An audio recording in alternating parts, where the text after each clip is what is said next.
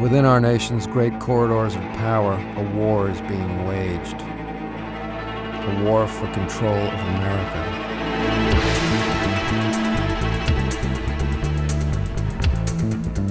It's a war without rules, without remorse, without mercy.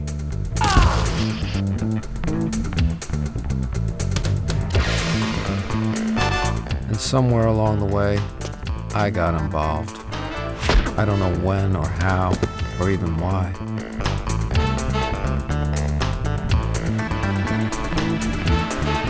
But I don't intend to go out without a fight. Because somebody has robbed me